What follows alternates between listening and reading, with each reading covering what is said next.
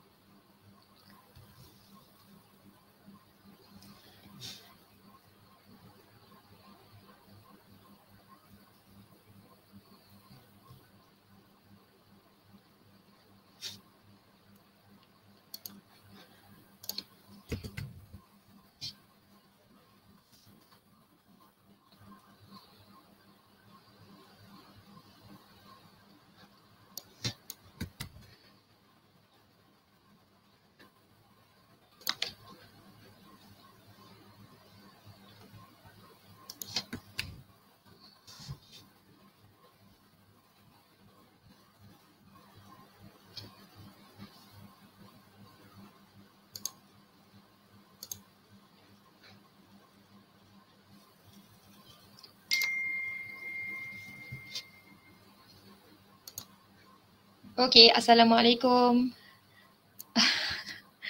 Assalamualaikum and good morning, and eh, good morning pula, good evening everyone. Okay, so kat sini saya ada paste uh, untuk join class point. Okay, so code class adalah sekejap. 95956.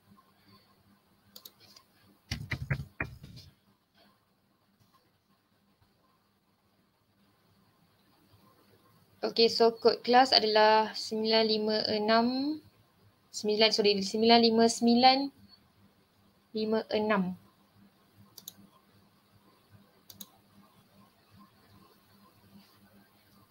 Sekejap eh, tak keluar lah kat saya punya ni.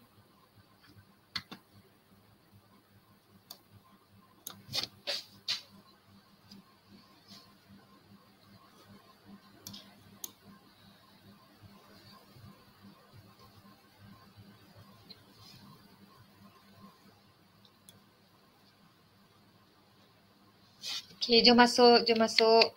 Kita nak start dah. Kali ni tak tahu lagi nak bagi hadiah apa. So, cuba berjawab yang terbaik lah.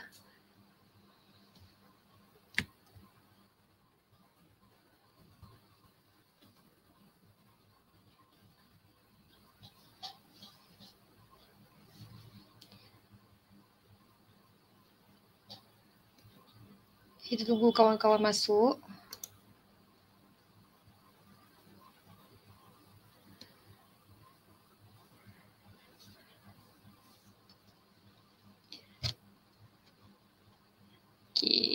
Cepat.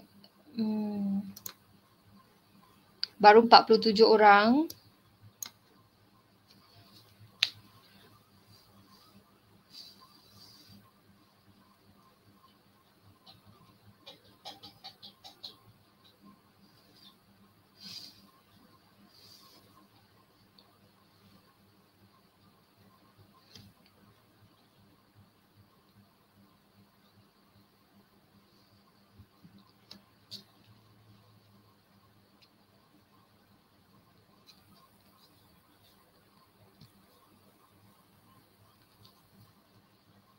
62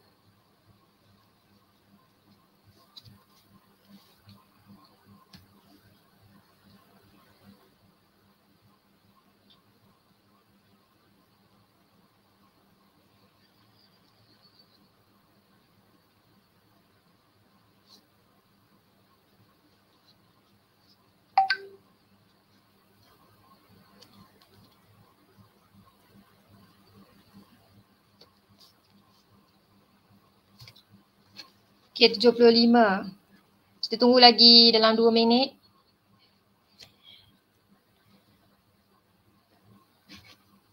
Yang view ada berapa orang? View 86.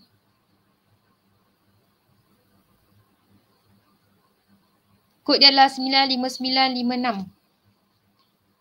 Kenapa tak keluar dekat skrin ni? Eh? Sebab saya buat share window kot. Eh bukan window.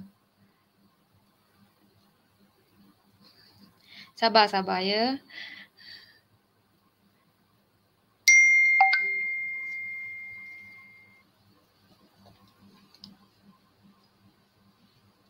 Okey, kod dia adalah 595956. Kita ada 90 orang tapi pelajar yang masuk baru 79.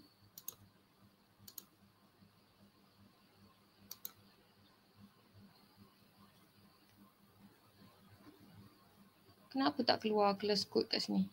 Jadi kelas kod kat atas ni tak nampak.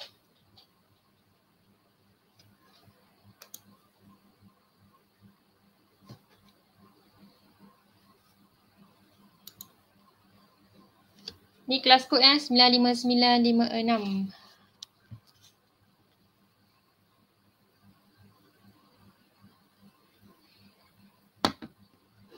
Okay. Mungkin ada line yang tak okay kot.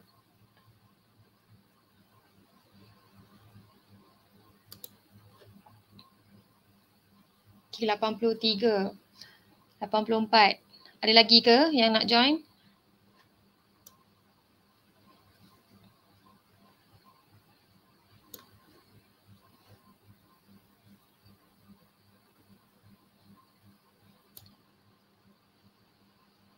Oh ni dah besar kecil, besar kecil. Alright. So kita start lah eh. Nanti lambat pula. 85 orang lah yang akan main hari ni. 87. Okay sebab kalau Medan dah start kelas, uh, dah start main, nanti uh, pelajar dah tak boleh join.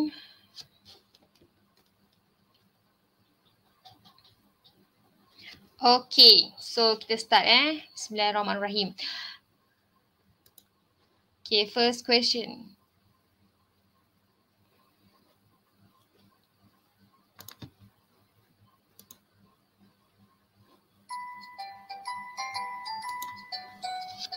Saya bagi dalam masa 1 minit 30 saat eh.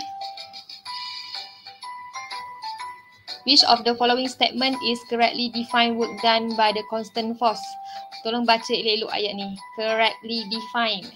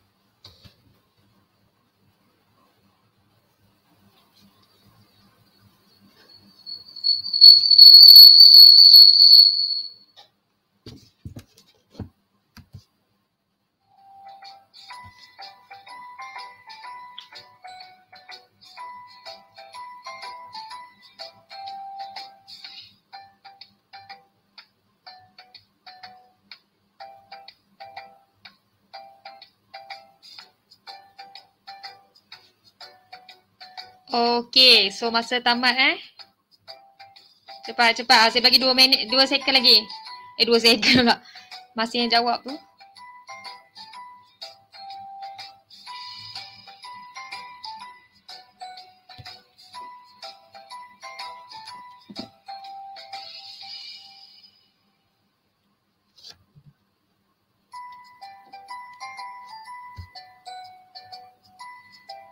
Mungkin masalah line eh.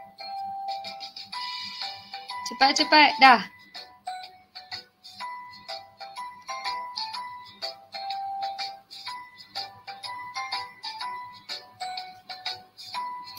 Okay, so close eh submission.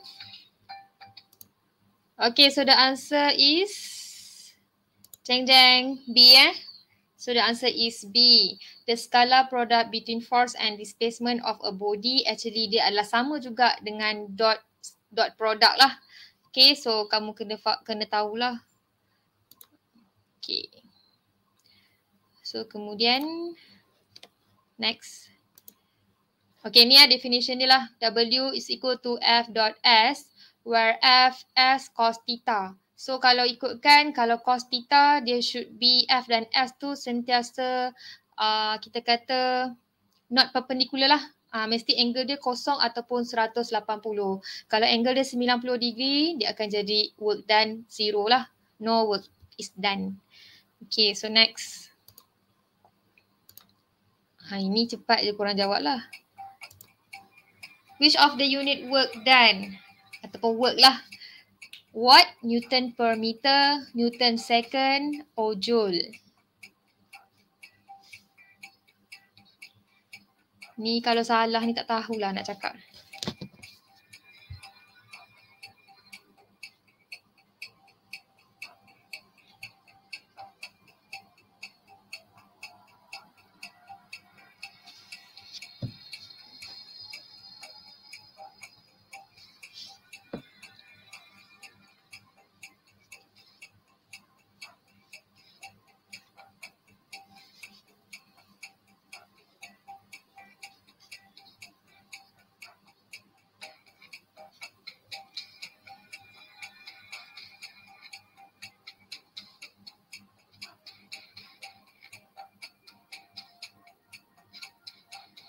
Yang ni satu minit 30, set, uh, 30 saat saya tutup eh.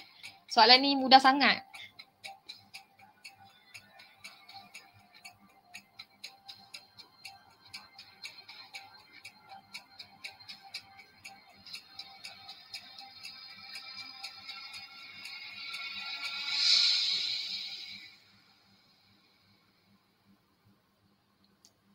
Okay, tujuh, lima, empat, tiga, dua, satu. Okay, close submission. So answer yang betul adalah Hai, ada yang jawab A, B, C ke sebab tak keluar jawapan, main tekan je. okay, next.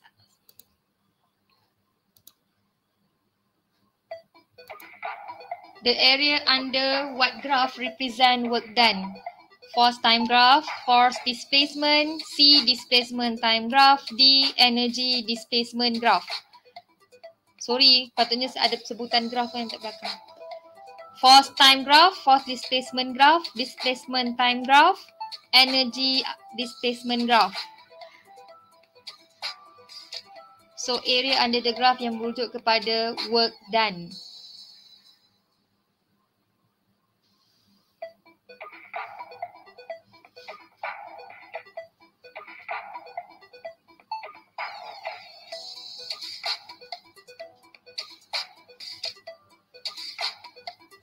Ni saya akan tutup satu minit tiga puluh saat juga ya. Soalan ni pun mudah je.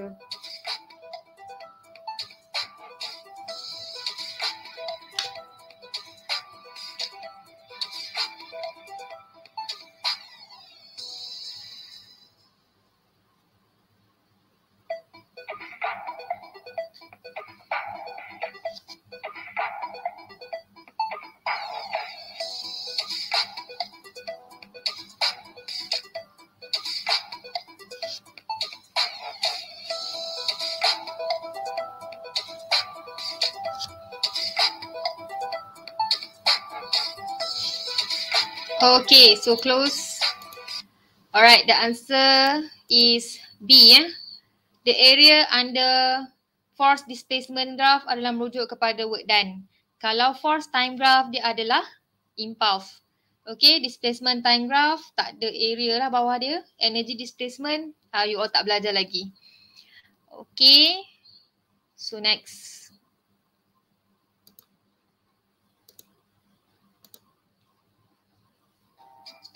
Okay, yang ni pun mudah je. The quantity of half mv square is referring to First adalah A, potential energy stored in the string.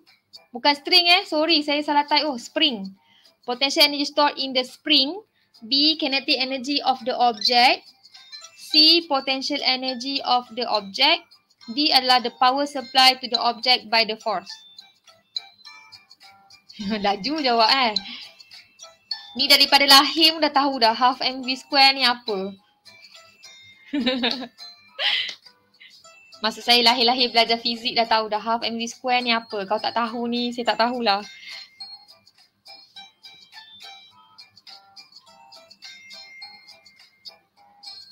Okay, ni satu minit 30 second saya tutup juga.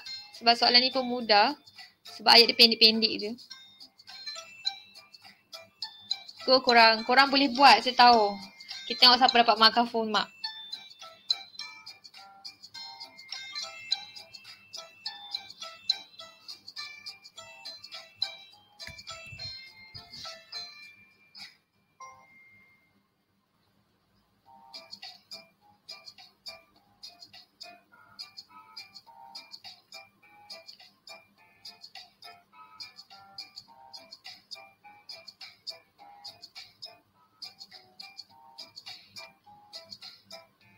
Okay, kita close submission. Okay, so kita tengok jawapan yang betul adalah B eh. Potential energy stored in the string. Sekejap eh.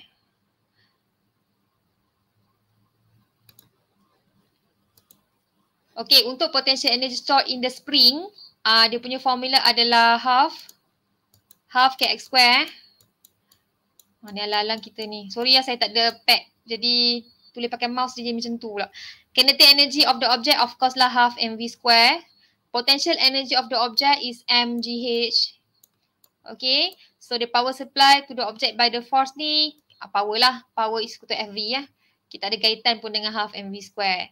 Okay, that's why jawapan dia adalah half, uh, sorry, jawapan dia adalah kinetic energy. Kamu kena tahu eh, formula-formula ni apa, mana tahu UPS masuk benda lain, dia kata the quantity of uh, MGH uh, sama dengan apa, ataupun dia kata the quantity of half KX square tu referring kepada siapa, uh, mana kita tahu kan.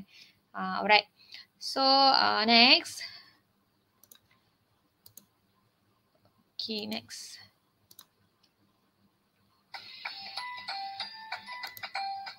Potential energy is depends on A, mass and height, B, mass and speed, C, height and speed, and D, mass and gravity.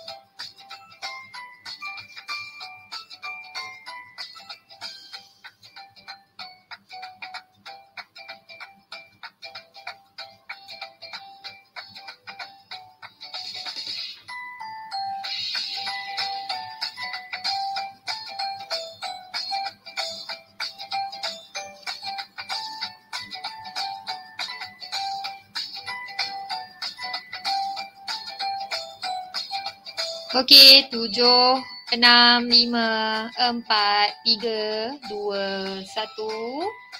Okey, close submission. Alright, so the answer is of course lah A eh. Sebab potential energy is equal to mgh. Ya, ada juga jawab mass and gravity eh. Uh, okay, mass saya terang sikit. Okay, so kenapa jawapan dia bukan mass and gravity? Sebab kita tak cakap potential energy dekat planet lain. Uh, kita assume macam potential energy ni adalah yang paling basic. Jadi gravity tu adalah constant. Jadi yang ini memang totally salah lah.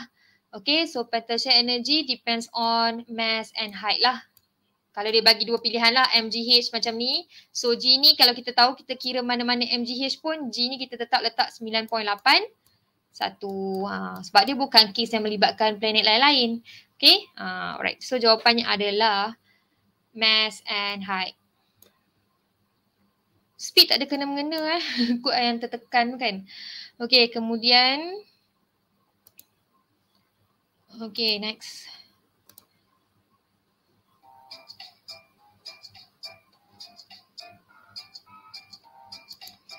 Okay, work energy theorem is uh, juga dikenali sebagai apa? Change in the mass of the body, change in the speed of the body, change in the kinetic energy of a body, change in momentum of the body. Hint dia yang paling sedap awak sebut. Kalau awak sambung ayat dia tu sesuai sangat. Uh, so itulah jawapan dia.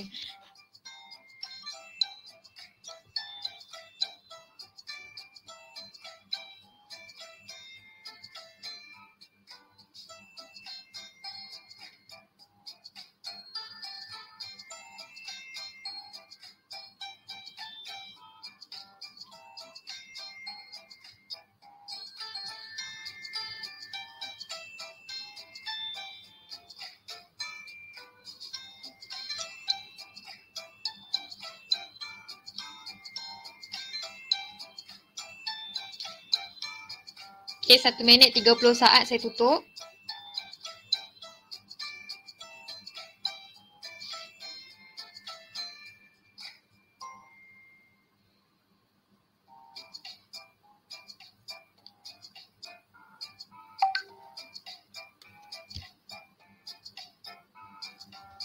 Okay, tujuh, enam, lima, empat, tiga, dua, satu.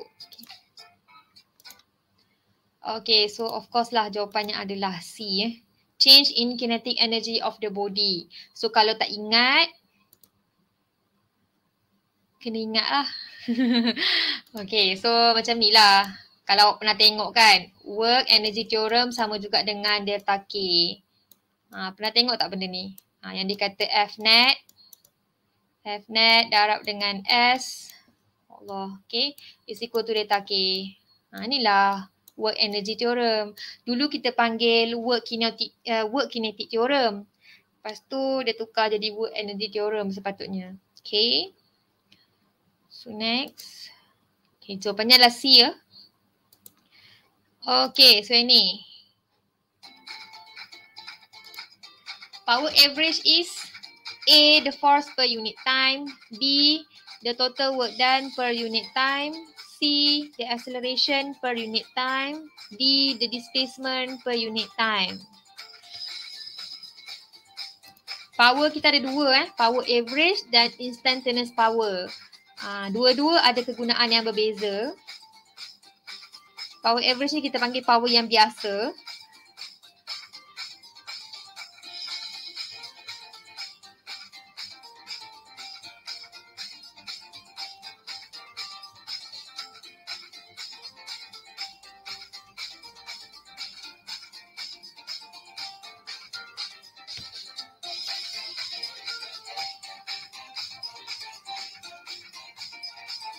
Okay guys, come on.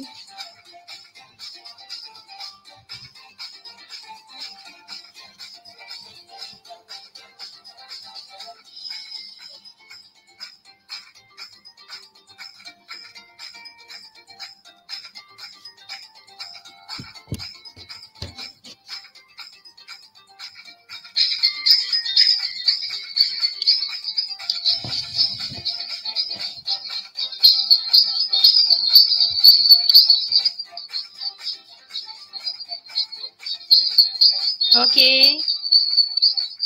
Alright. So close submission eh. So the answer is B. So apa B tu eh? Sekejap. Okay, the answer is B. Is the total work done per unit time. Uh, yes, betul lah. Total, total work done per unit time. Kalau force per unit time tu apa eh? F over T ada formula F over T. okay, so ingat power average sama dengan work divided by T lah. Ni yang benda biasa juga. Selalunya kita guna ni lah change of work done. Rate of change of work done divided by change. Selalunya DT per, uh, sorry, uh, change of work per masa lah. Okay. Right, uh, next. Alright, ini pula adalah instantaneous power what is instantaneous power? Uh, yang kita kata power specific at apa panggil at particular time.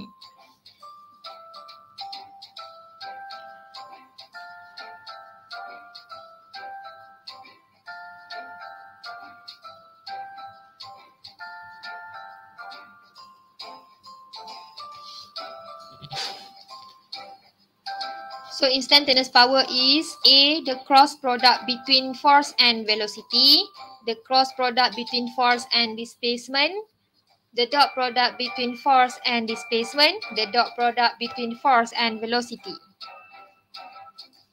So are you remember the instantaneous power is the dot product or cross product?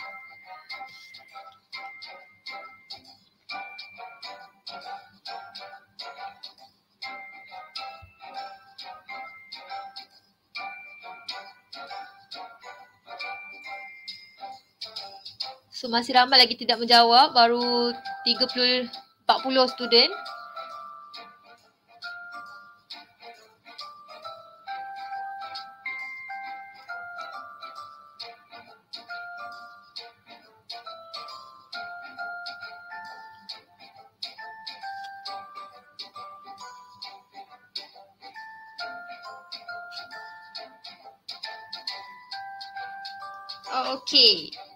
So masa tamat ya.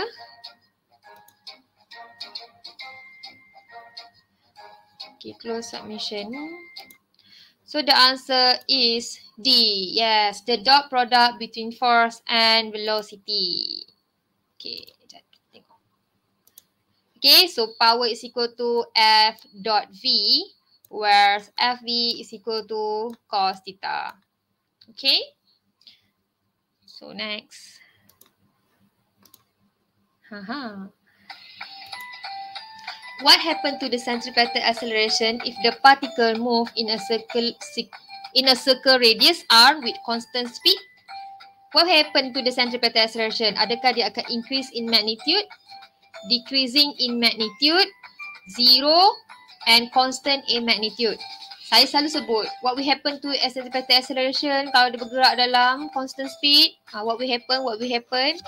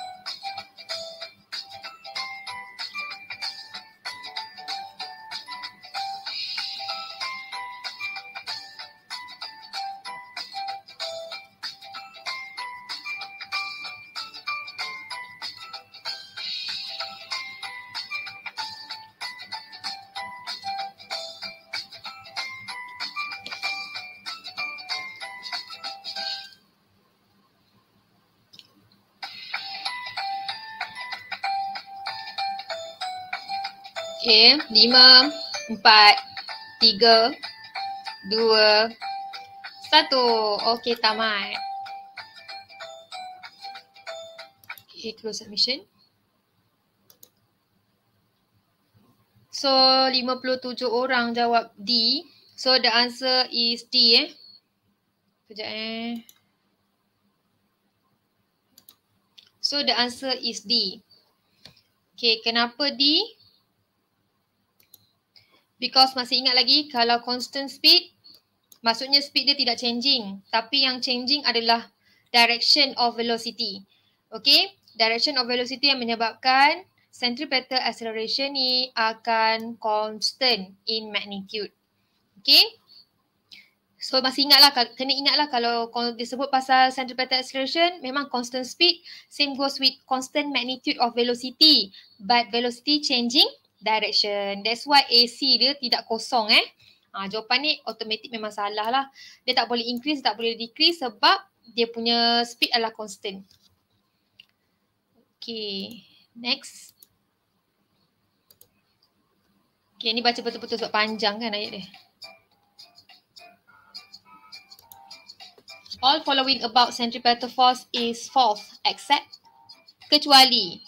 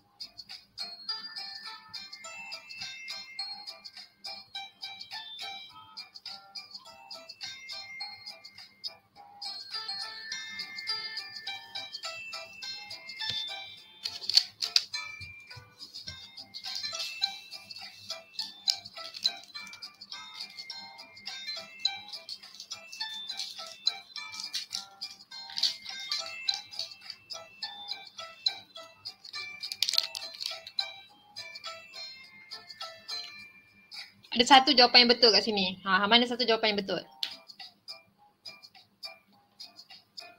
Yang betul tentang centripetal force.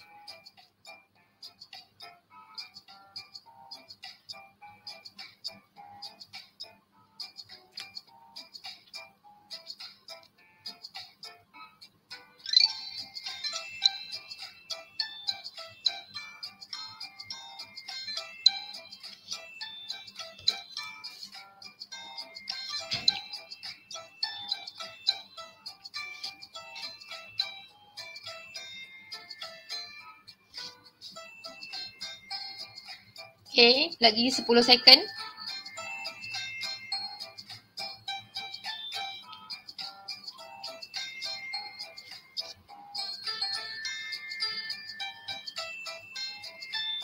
Okay, so tamat.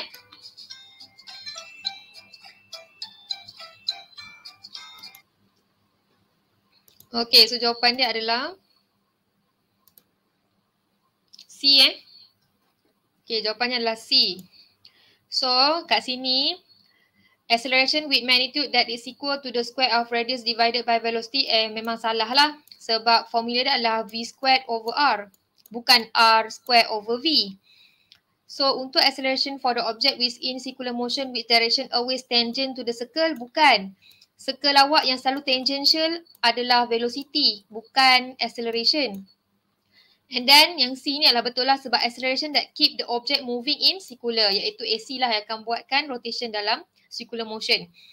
Then the acceleration whose direction is always pointing away from the center salah lah sebab centripetal acceleration ni sentiasa pointing towards towards the center. Maksudnya dia menuju ke tengah-tengah. Nah itu adalah AC. Okay, ha, ni adalah AC. Ha, pointing tengah-tengah. Okay. So kemudian Ha, macam inilah. AC always towards the center of circular, velocity always tangent to the circle. Ha, bukan AC yang tangential to the circle, tapi velocity. Okay. Eh, eh mana pula ni? Eh, media kopi soalan ke? Yang ni dah jawab kan? Dah jawab semula lah. Yang kata kopi soalan lupa nak delete.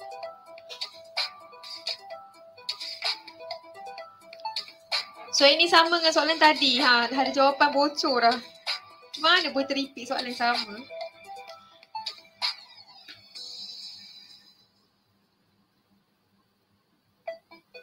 Eh macam mana tahu saya makan?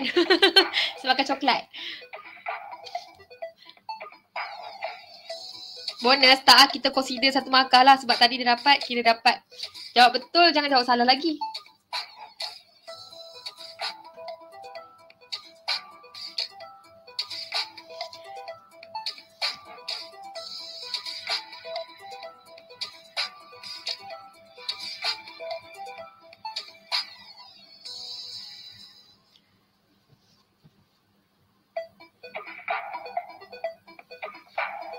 so yang ni saya tutup lah satu, min, uh, satu minit tiga puluh saat tutup sebab ni soalan berulang kan. So pejam mata pun jawab lah.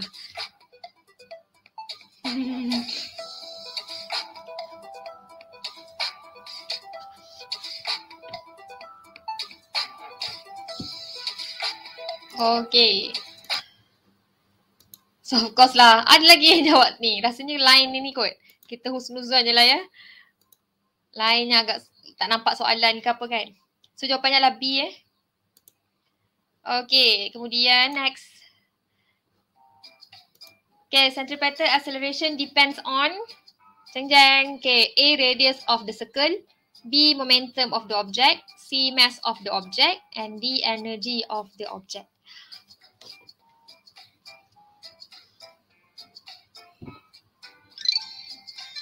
Tadi saya bagi bagi tahu centripetal acceleration formula dia apa.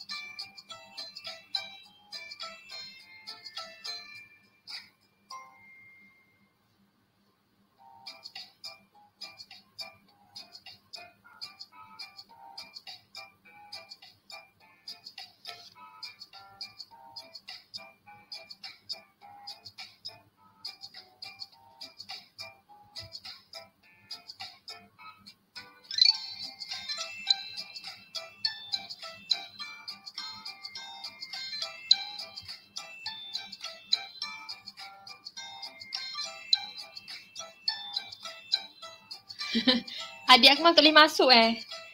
Sebab dia buat jawapan dia kat situ.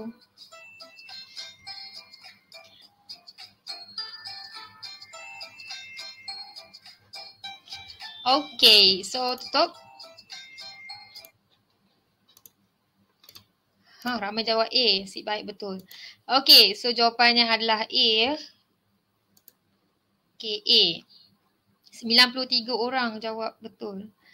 Okay, um, kejap. Okay, centripetal acceleration depend on radius of the circle lah sebab tak cakap pun velocity kat sini. Lagipun velocity kita adalah constant kan? uh, maksud saya magnitude of velocity adalah constant. Jadi kalau dia punya velocity sama tapi radius dia kecil atau besar, so AC dia akan berubah lah. Okay. Ha, macam ni lah. Kaitkan dengan ni. Okay. So what is the direction of Okay, what is the direction of the velocity at point C? Nampak tak putaran dia tu dia bagi anak panah kat sini. Ha, so kena fikir. Dia pusing adalah arah uh, anti-clockwise.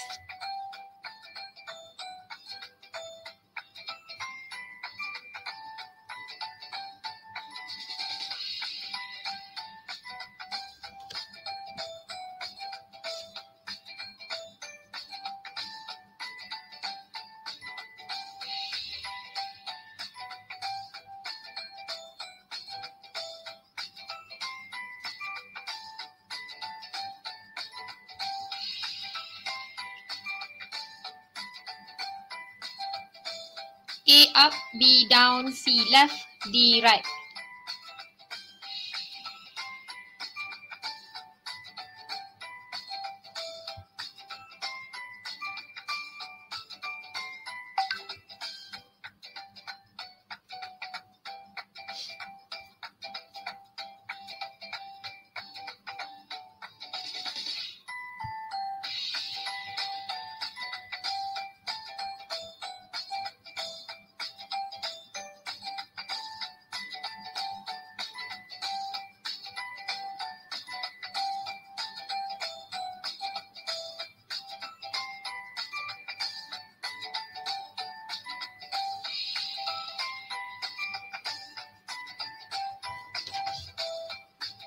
Okay. So jawapannya adalah C eh.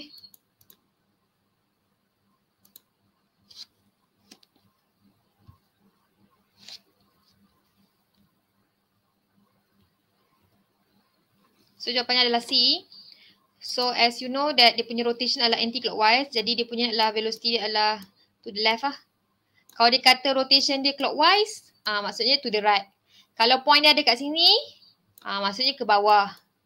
Okay, ah, dia mesti rotate tangential to the ah, bulatan lah. Okay, so kemudian ada soalan lagi ni. Takut masa tak sempat je ni. Okay, yang ni satu minit ah, 30 saat je eh, tak boleh lama-lama.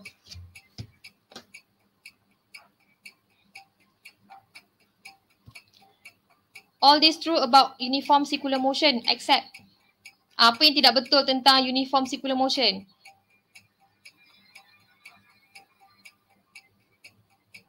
Semua ni betul kecuali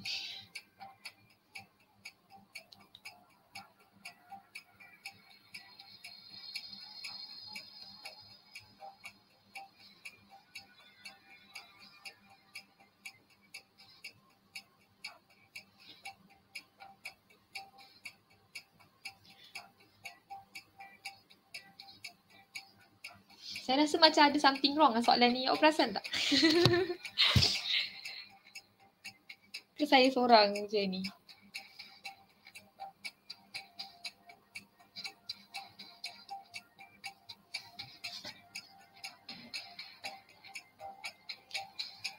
All this true about uniform circular motion.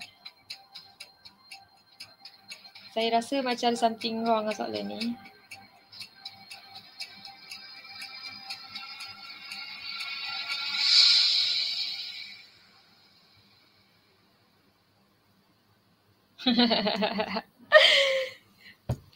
Saya rasa ada salah kan?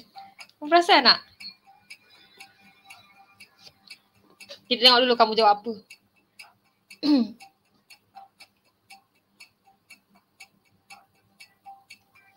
Kalau saya tengok dekat sini ada dua jawapan.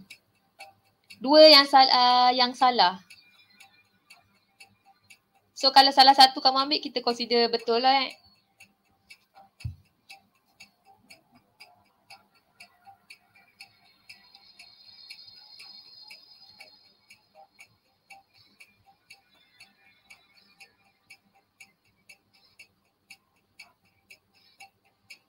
Saya tak perasan. okay. So, jap. Kita tengok uh, result. Okay, soalan ni dia ada something wrong sikit. Ada yang jawab A, ada jawab C. Okay, sepatutnya jawapan dia adalah A. Saya tak tak tahu kenapa saya tak tukar jawapan ni. Okay, maksudnya kalau jawab A dan C tu betul lah. Okay, sebab memang salah. Mana boleh displacement time graph. Dia kena apa eh graph yang cakap pasal circular motion tak ada kena mengena dengan graph pun.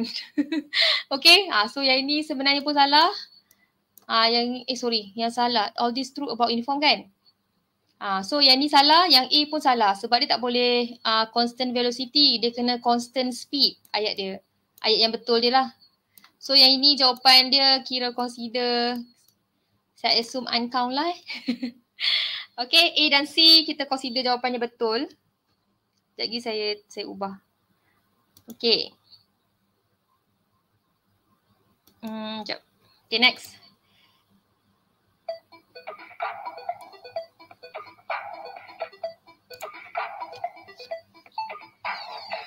Okay, the SI unit for centripetal acceleration.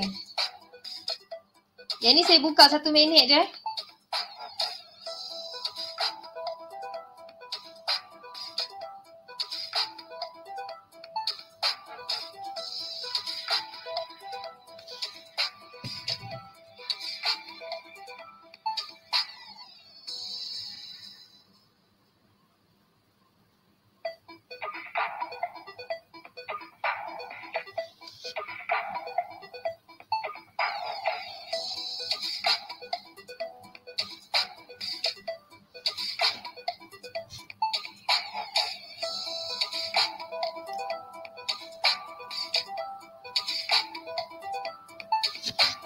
Okey, cepat-cepat jawab. Lagi tiga second. Satu, dua, tiga. Sayanglah kau soalan tak boleh jawab kan? ha, cepat. Lagi tiga second. Satu, dua, tiga. Saya tutup eh. Okey, so answer dia adalah. Alamak, kenapa tak boleh buka ni? Jangan kata saya tak ada line pula. Sekejap eh. Tak boleh pula dah jam. Nampak tak dekat skrin awak? Allah baca. Sekejap, sekejap. Bila sekejap.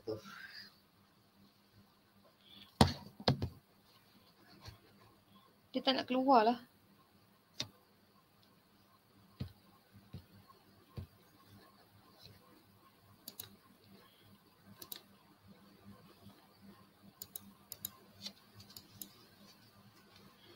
Hmm. So jawapannya adalah C eh. Dia tak keluar. Saya tak tahu kenapa. Okay jawapannya C eh. MS negatif 2.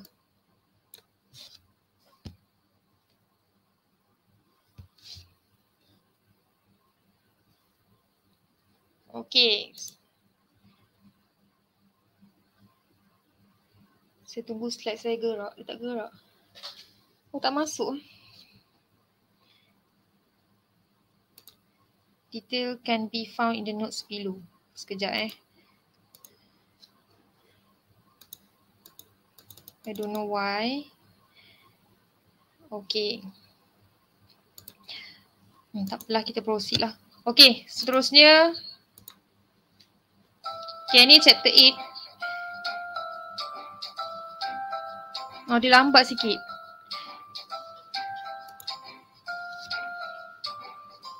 Which of the following statement is true about Newton's law of gravitation? Yang betul.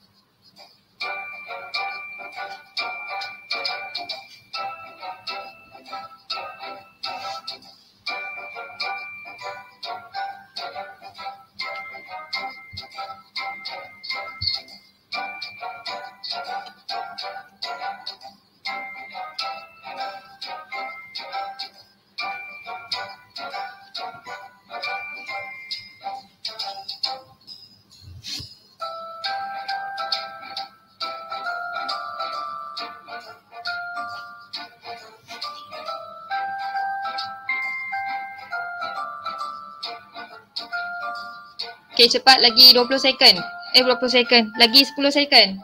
9, 8, 7, 6, 5, 4, 3, 2, 1. Okay.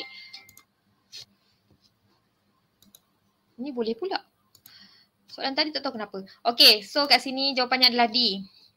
Okay, jawapan yang betul adalah D. Dia kata which one of the following statement is true about Newton's law of gravitation. So jawapan yang betul adalah D eh. Sebab the force act along the line joining the center of mass of two body. Okay, kenapa yang satu A ni salah? Sebab dia bukan repulsive force. Dia adalah attractive force. Kalau jawapan betul, dia sepatutnya attractive force. And then yang ni, the force is inversely proportional to the masses of the body. Sepatutnya dia bukan inversely proportional. Dia directly proportional. Untuk C, the force is directly proportional to the square of the distance between the bodies. Dia adalah inversely proportional. So kamu kena tahu macam mana nak buat kalau melibatkan equation ni. Okay. Macam ni lah. F is directly Tengok tak keluar. F is directly proportional with two masses of the body and inversely proportional with the radius between that. Radius means that the distance between the, uh, the distance square between this point this of two bodies ya Allah. Okay and then kalau type of force dia you kena ingat dia adalah attractive force. Okay dia tak ada repulsive dalam case ni. Dia semua adalah attractive force. Ingat perkataan ni attractive. Okay? Uh, so dia satu lagi yang line joining between two masses ah, inilah uh, line joining. Dia punya force ni duduk dekat situ. Okay dekat line yang saya tanda color merah ni. Ha line ni. Okay So ingat apa yang saya sebut-sebut tadi tu ya. Penting. Okay next.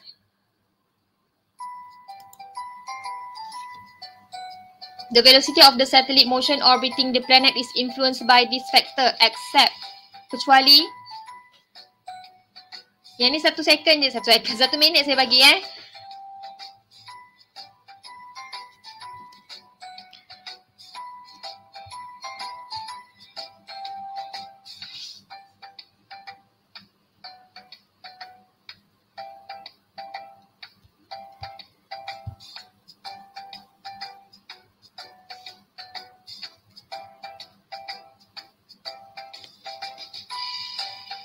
Okay, ada lagi 20 second. Saya selalu sebut dalam kuliah hari tu, uh, kalau dia tentang satelit, apa yang korang tak perlu masukkan, maksud saya tak perlu ambil tahu pasal benda tu. Saya selalu sebut. Bukan selalu lah, memang kerap lah. Setiap kali sebut je.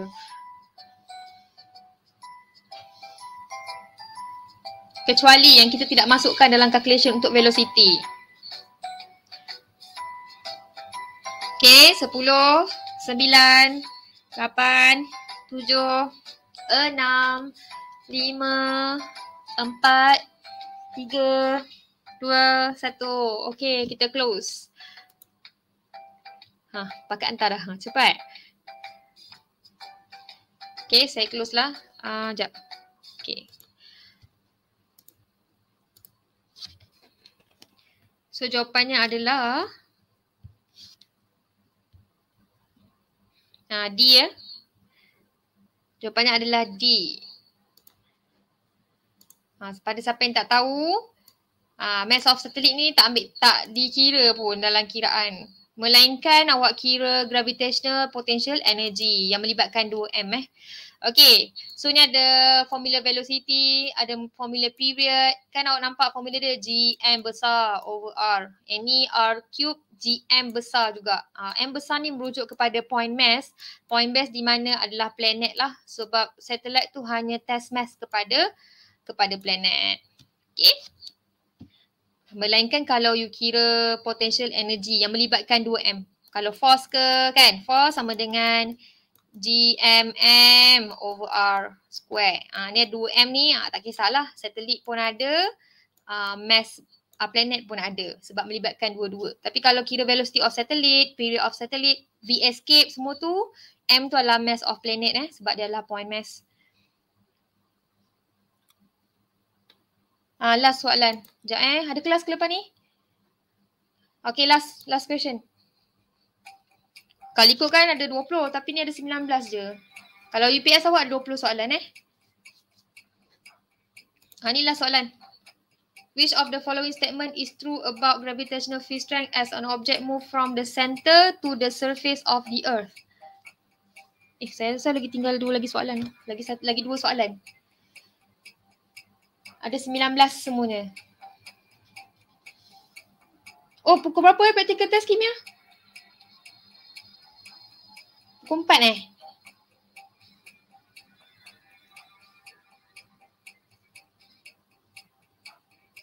Oh cepatnya praktikal test kimia uh, cepat. Oh, saya tak tahu awak ada praktikal test kimia. Berapa kelas yang ada ni? Satu kelas je? Oh empat lima belas. Ah, sekejap, sekejap. Nak habis dah.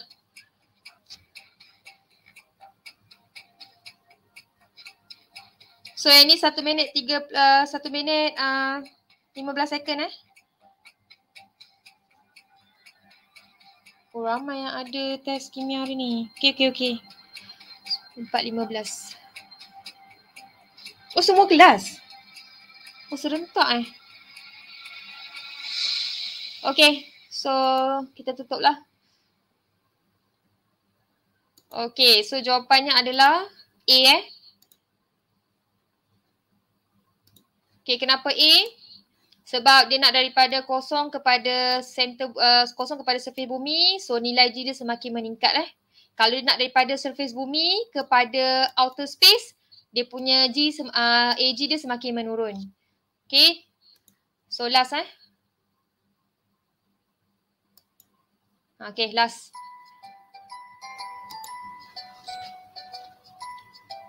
Oh, semua serentak.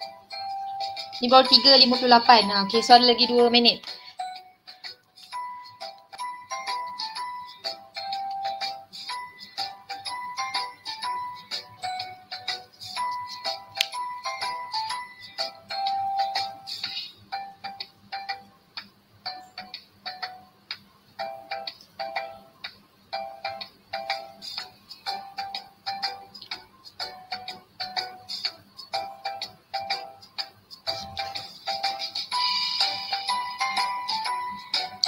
Minit eh saya tutup.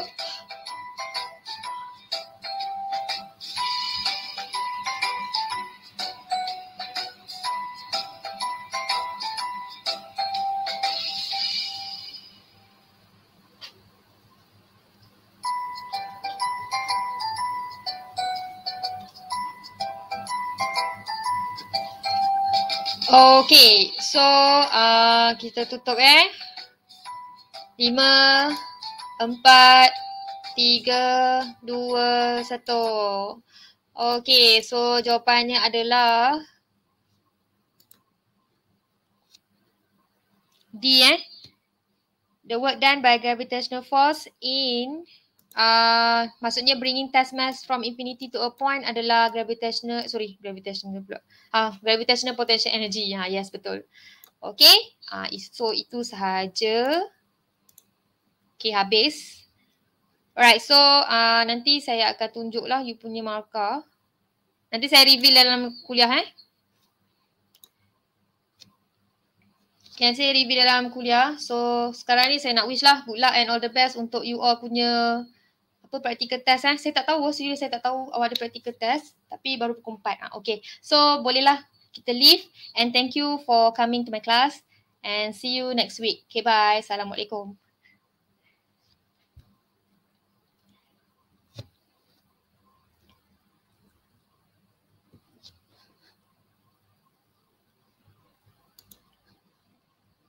Okay, bye korang. Bye-bye. Ha, pergi buat preparation tu.